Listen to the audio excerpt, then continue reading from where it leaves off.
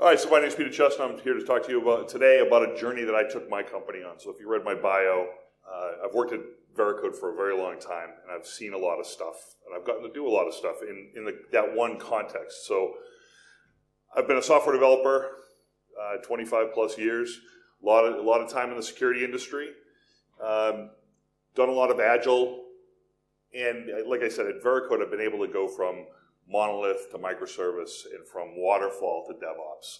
And I want to share with you that story because I think there's a lot of lessons in there. Not everyone's journey is going to be the same, but a lot of the things that we had to worry about, you're going to have to worry about. Uh, also, if you ever want to talk to me, get me down for whiskey, and you'll have my attention all night. Uh, quick show of hands, uh, developers in the audience? Okay. Uh, security? Quality? What I miss? Operations? All right, couple. All right. Uh, we're going to talk about the drivers for the transformation, uh, and a lot of talks talk about tooling. I want to talk about this from people process technology. The last talk from uh, from the HP folks did a great job of talking about some of those things. I don't agree with a lot of things that they said. My journey was different, but that's okay. Uh, I would talk specifically about the journey that, that I was on and what we're still struggling with today.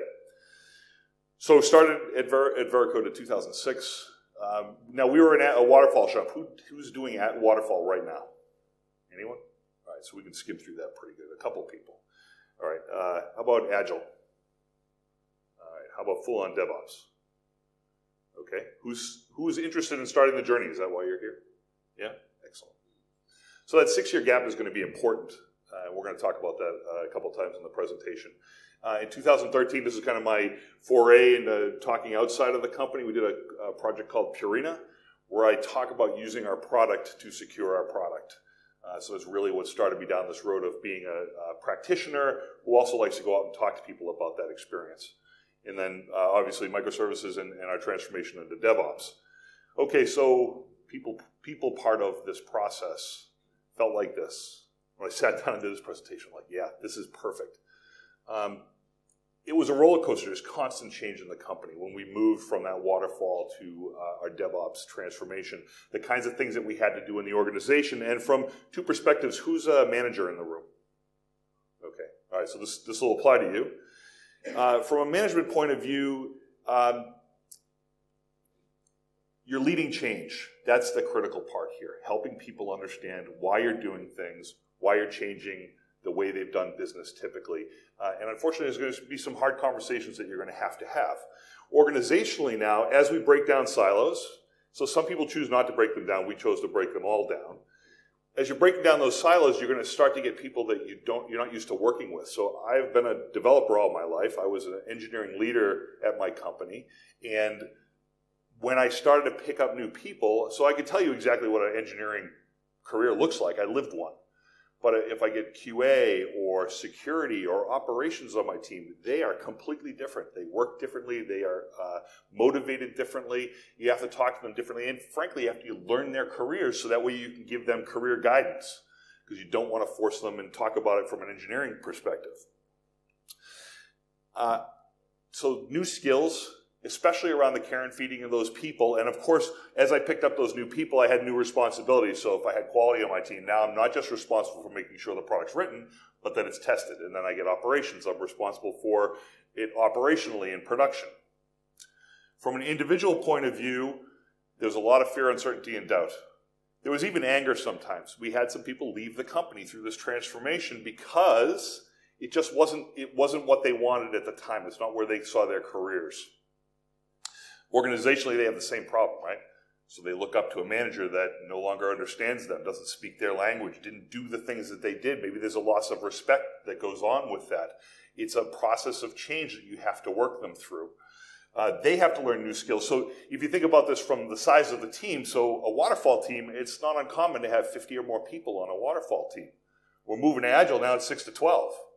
And most DevOps uh, methodologies that I've seen run on top of Agile as well, and that's what we do. So you have that very small team. You don't have room on the team for a team of DBAs and a team of security people and a team of quality people. You have to like like doing a little startup. You have to learn each other's jobs so there's no single point of failure.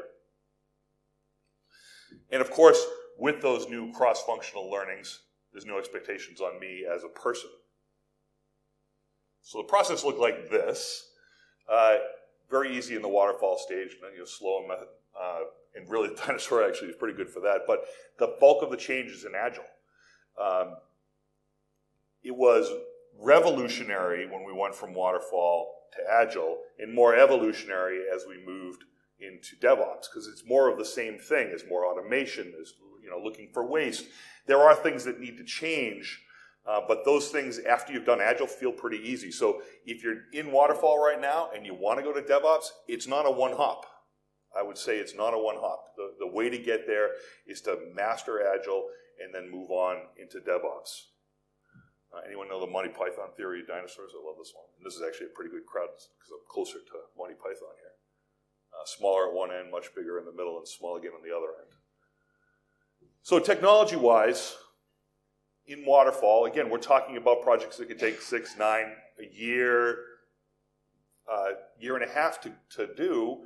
If you have a job that sucks and you only do it once a year and it takes you a day or two, okay, well, I guess I'm going to do that every year or so. Uh, there's no reason economically for you to go through and automate your way out of it. So you do the hard things, that the hard way. Right? This is the, the kind of downfall of, of what you're doing with waterfall is you never get to a place where you're actually adding a lot of value quickly because you keep doing these things the hard way. In Agile, you can't do that, especially if you talk about your sprints being two to four weeks, if you don't start to automate your way out of some problems. They're not repeatable. They're not, you can't drive them on demand. Uh, it requires people to do it. Uh, so it can only be done during working hours. That all those all those problems add up. And once you get to DevOps, it's automate the world. If it can be automated, you should.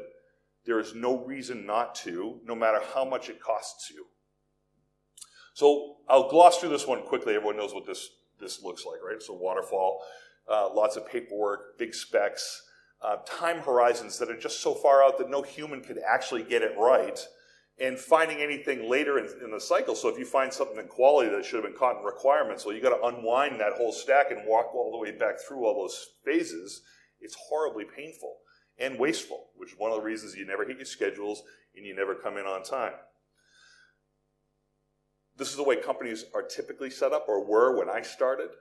Right? You get the quality silo and you get the architecture silo and the security silo. We're throwing things over the wall. It ends up in a train wreck. Um, it, it's just it, it's so hard to get your job done. It, you don't feel good about anything because you get a bunch of stuff foisted on you, and then you foist it on the next one down the line. When we started, our technology was old school. Um, anyone recognize this Gantt charts?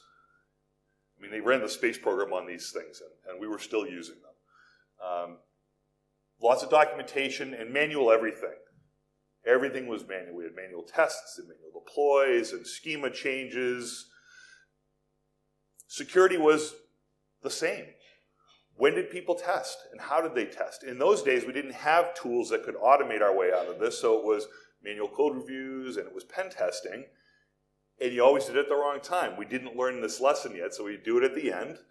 Uh, it was mostly manual, so it took a lot of time and people and it was an unpredictable amount of work. So you've got this release candidate in your hand, and he's like, ready to go to production. Like, yeah, not so fast. You, I just found about a month worth of work for you. That never felt good, and that's part of the reasons why you never met your schedule. Because what you were driving to is you just squeak the development in and then hope that all the testing goes well. Really, the biggest problem that we were trying to get rid of with Waterfall was this you miss the customer. The time horizons are so long, no one can be accurate about it. And by the way, by the time you get there, the customer wants, wants something else, or you didn't hear them right, and you poured all this effort in to build this, and they're like, uh uh this is what I wanted. So in Agile, you're, you can pivot quickly, learn from your mistakes, and actually hit the customer where they are at the time. So it's one of the great things about Agile. The other thing from a teaming perspective, so take a look at this. This is a waterfall, right? We have all our silos and our handoffs in between. And one of the one of the problems with this methodology is in the siloing is that once the person writes what they want to write, they're off writing something for another team or for the next release or what have you. So the, the continuity and understanding why you built something starts to get lost the farther down the line you get. So the developers get a flavor of it. It's like playing telephone. And then by the time it gets to QA, it's like, okay, I, I think I understand. By the time it gets to operation, they have no idea why you built it or how it was supposed to work. Same thing with uh, the development team they build something, QA gets a pretty good idea of it, and operations just gets to see how it works, which by the way does not go back up the pipe. So the operations team is there is like, well, here's how it's running. I, I don't know how you think it's supposed to run, but it's not doing that. When we broke down those first walls with Agile, typically in that Agile transformation, you're combining quality with developers, right? So when you do that now, and of course our product owner is on there, we do that, now we start to see that quality and product really get to understand why you're building something and how it gets built, but that backflow problem is still there, which is what we did with DevOps. Breaking down that last wall was critical that we have continuity across this. So the operations people can be in the room when you're talking about the feature idea, not the feature deployment. All right, so everyone knows this chart. Unfortunately, most of the customer that I see, this is where our security team is. They're on the outside and they're fighting for budget. Heard this in Shannon's talk today. Hey, can we just fix the most important things? here's a list of 100 things. Well, I got time for five. We start breaking down those silos, security way off there on the side. Again, uh, the technology was all manual. So I would draw this on a chart. We had lists of tests that we would run. This, this is all the tests we could run or that I wanted to run, and here's what we could afford. Uh, of course, I call that the testing Death Star. Uh, every time I drew it, it just kept bringing that to mind. Uh, also, as we were working on deployments, it started to look like this. When we were a small company, one product, yeah, it was five or six people that would do deployment or push nights. As the product started to grow, we were multi-product, and we were uh, adding in more agile teams into the mix. Now we didn't no one, no one person could know every product, so we started inviting more people to them. So at one point, we had like 25 people going to a, a dinner before we did our deployment night. And worse yet, we get into production, and well, when does production data look like the data that you tested against? Never.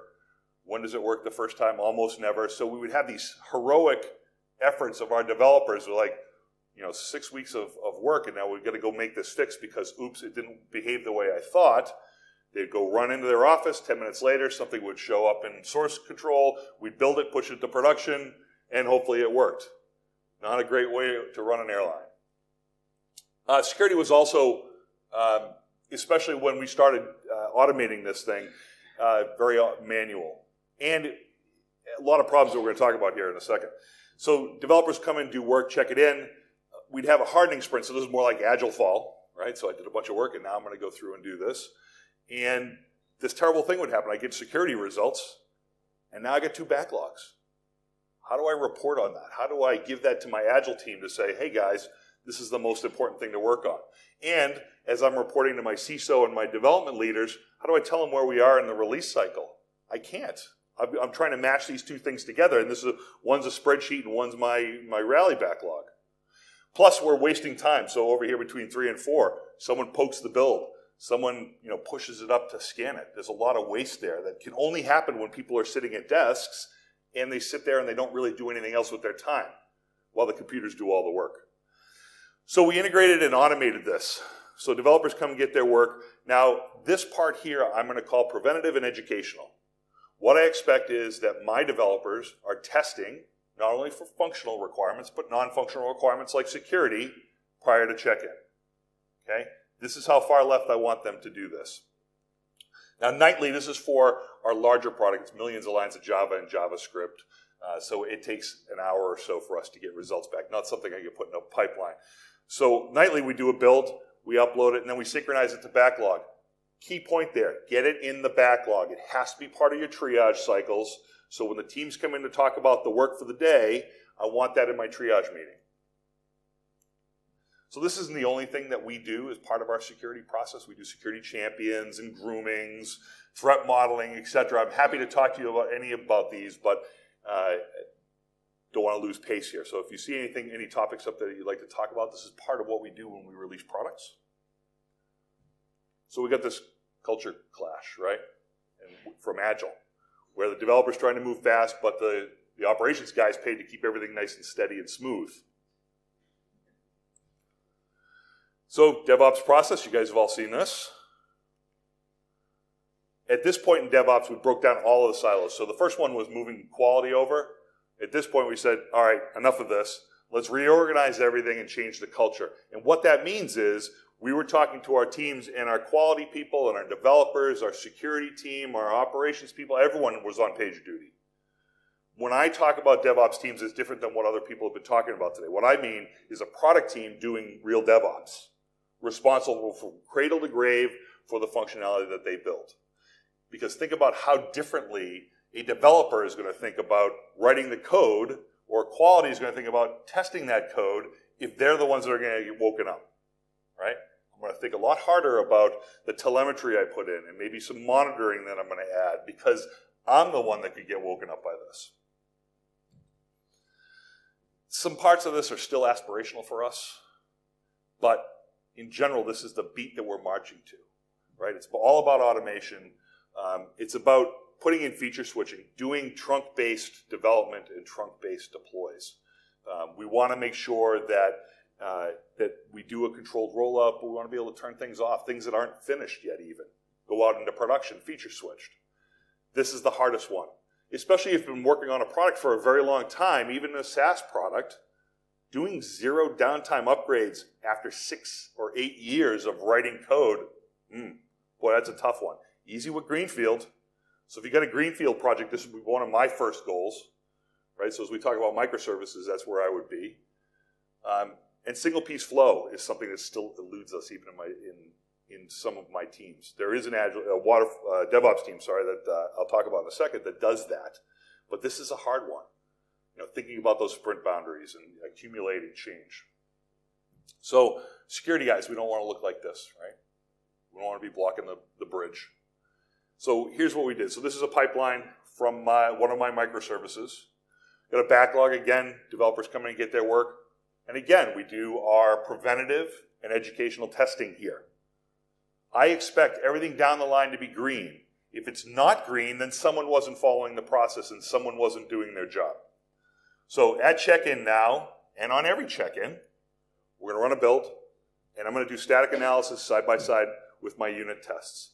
These tests for small services like this run in minutes, about three or four minutes for this particular piece of code, out of which I get a result, which is, of course, the CI portion of your pipeline, right? This is my continuous integration. I'm going to run tests on it all the time that I expect to pass. If they don't, break the build.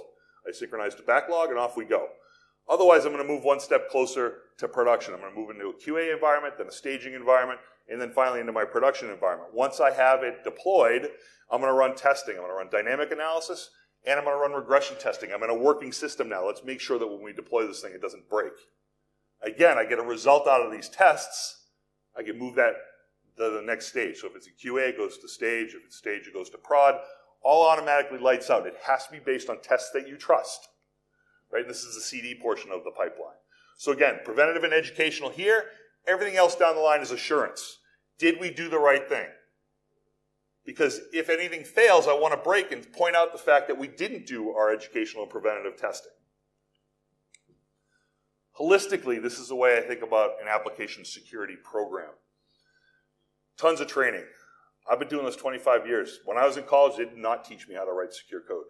Even today, most universities do not have courses or degrees, for that matter, on how to write code securely. It's not the important thing. They think uh, they teach you big O and how to make big complex systems and multi-threading and all those other things.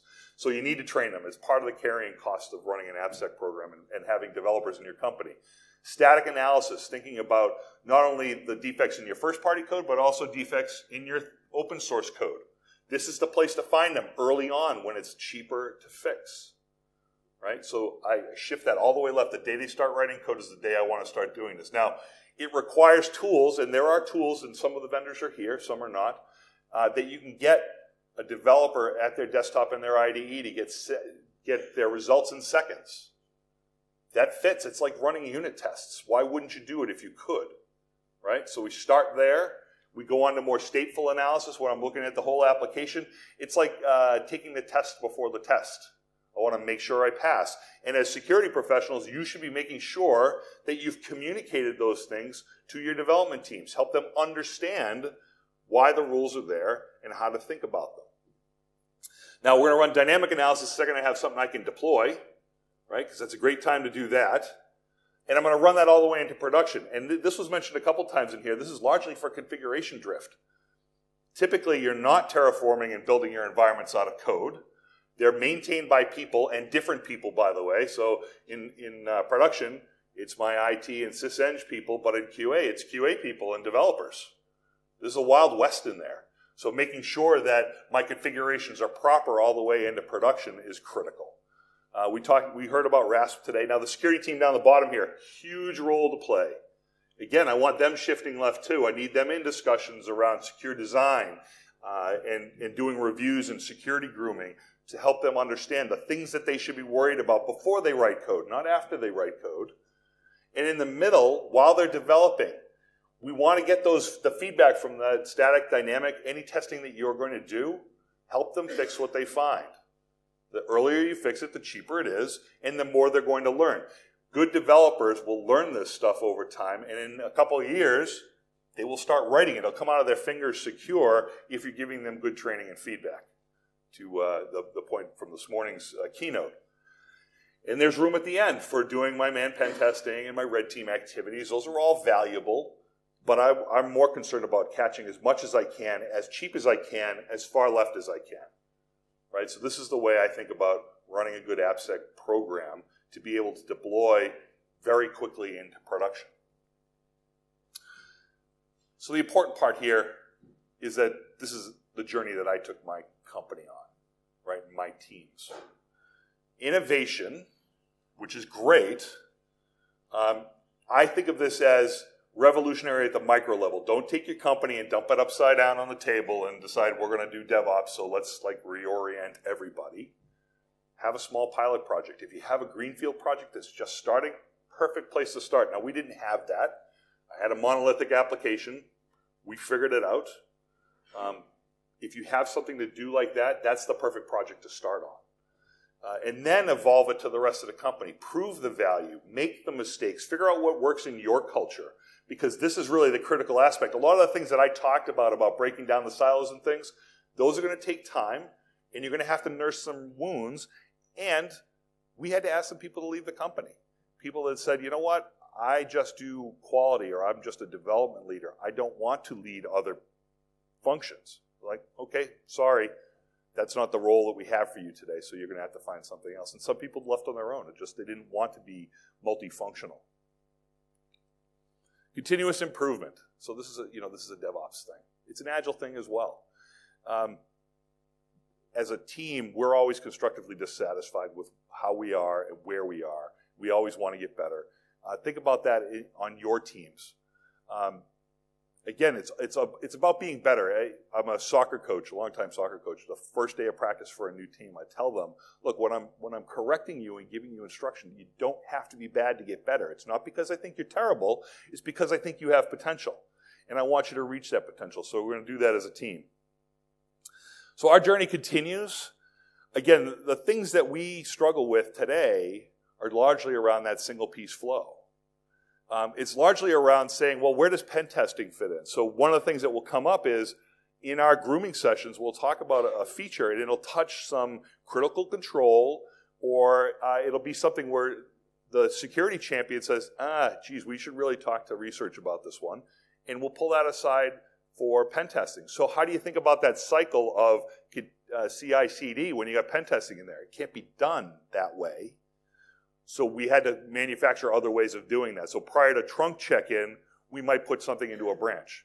And in that branch, we'll put that aside and say, hey, pen tester, take as long as you want. I don't care because you're not holding up the works, right? The work is the work. Let it take as long as it takes. I want this to be thorough.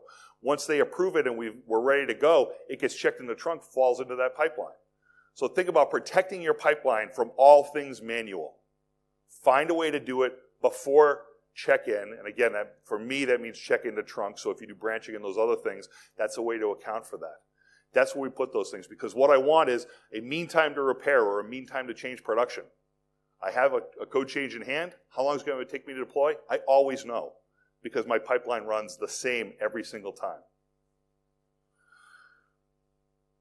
I thank our sponsors.